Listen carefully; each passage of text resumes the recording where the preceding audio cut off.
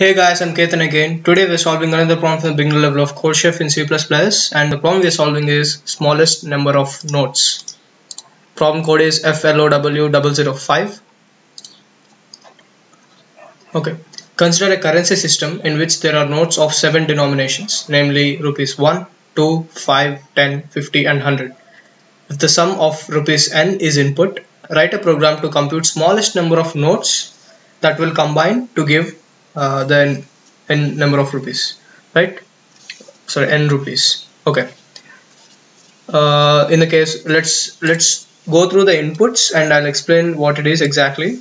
So in the first input 1200 uh, first test case 1200 uh, we can have 12 uh, 100 uh, rupee notes and that will cover the 1200 amount right so that's the least number of notes that you can have. Because if you take 50 rupee notes you'll need 24 of them if you consider all 50 rupee notes.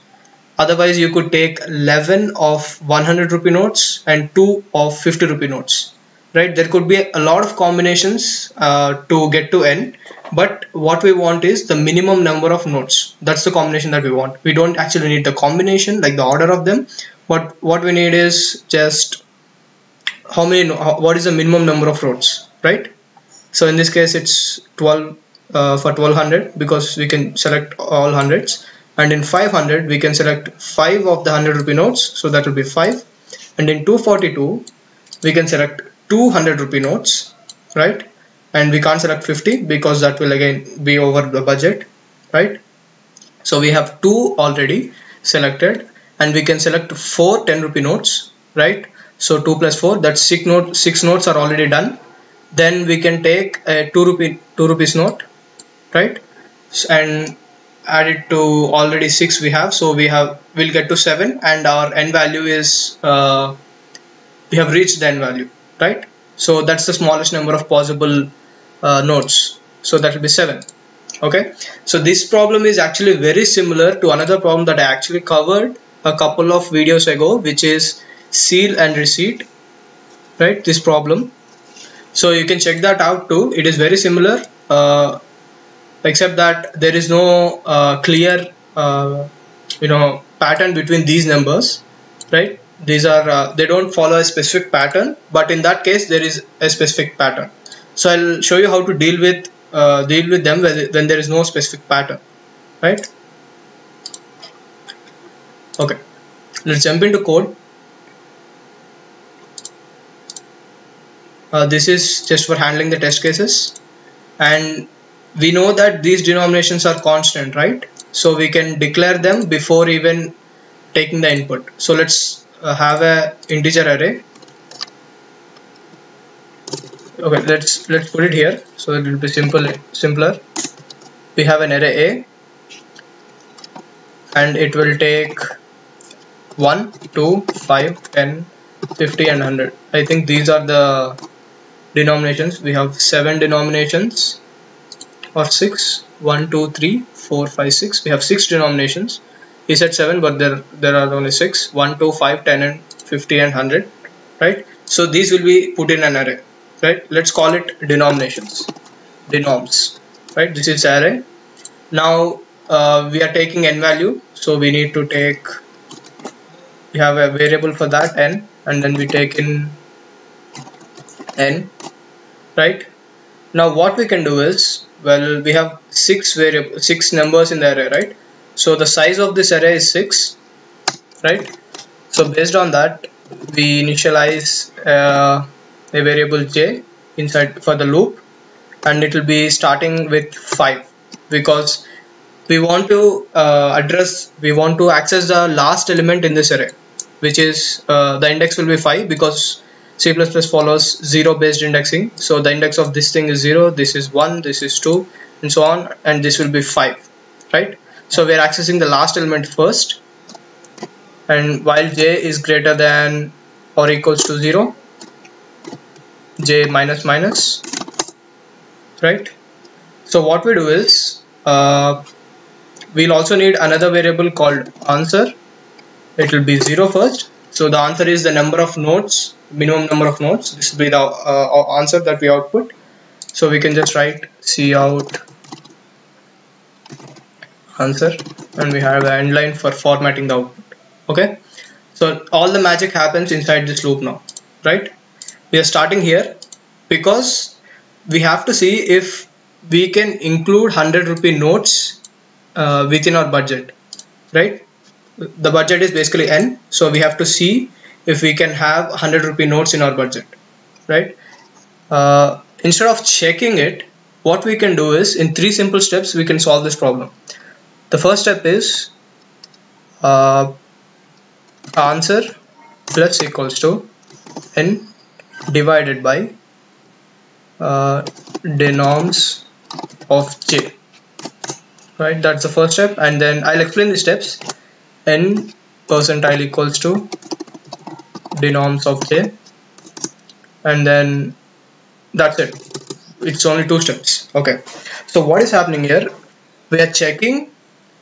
Well we are not checking but if uh, okay let's let's take an example so that it will be clear. Let's take 242 as the example.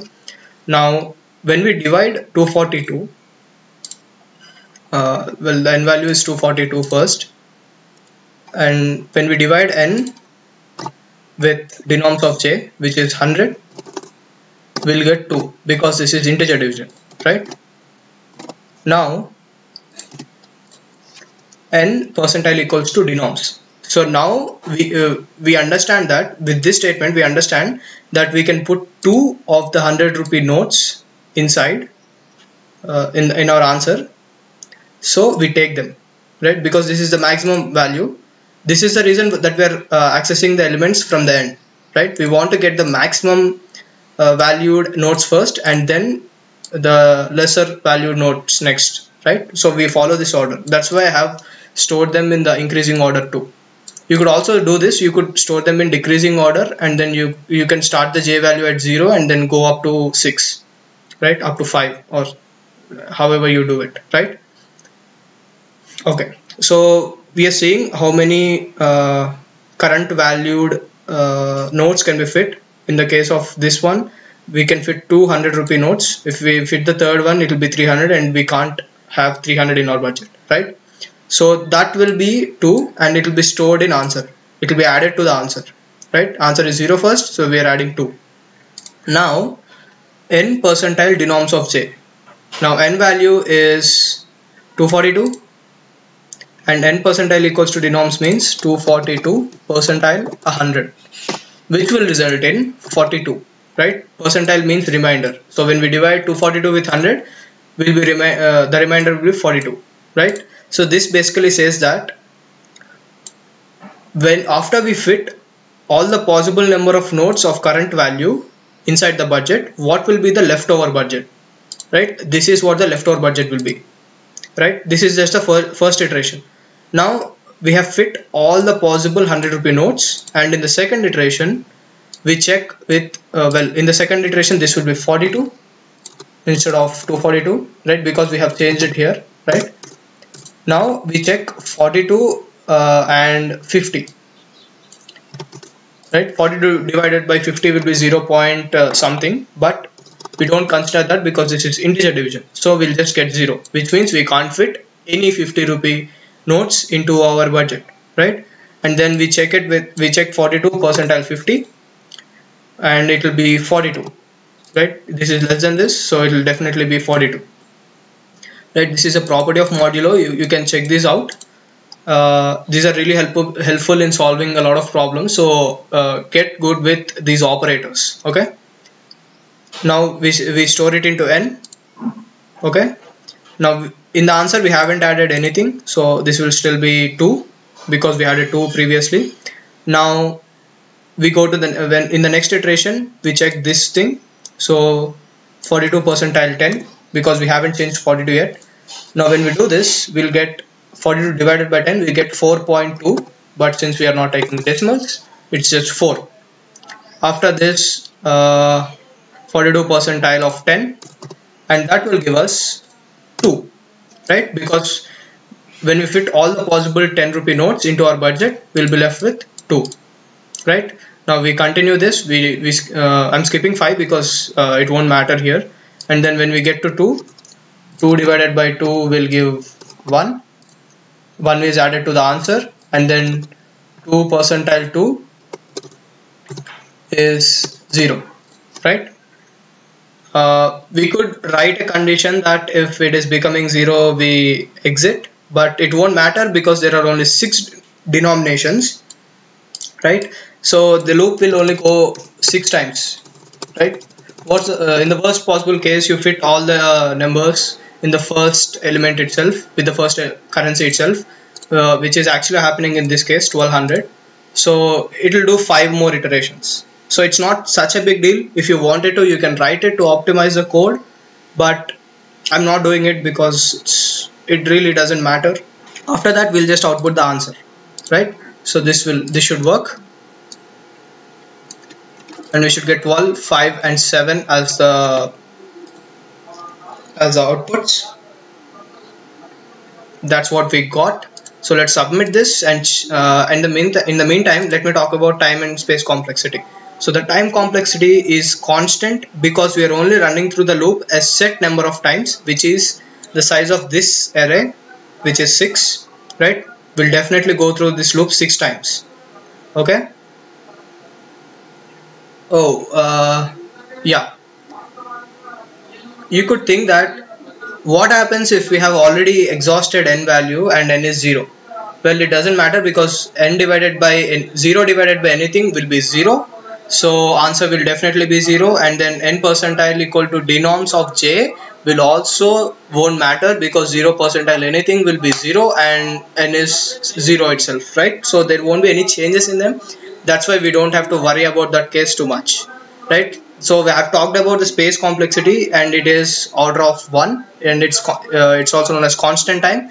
And the space complexity is also order of 1 because although we have an array of denoms it is fixed size right? It's not dependent on what is the n value. It's not changing with the n value so it's constant size. So that's why uh, the space complexity is also order of 1 okay? So this is uh, the optimal solution. And thank you for watching. Share with your friends and subscribe so that you can also uh, see other problems and learn from them. Thanks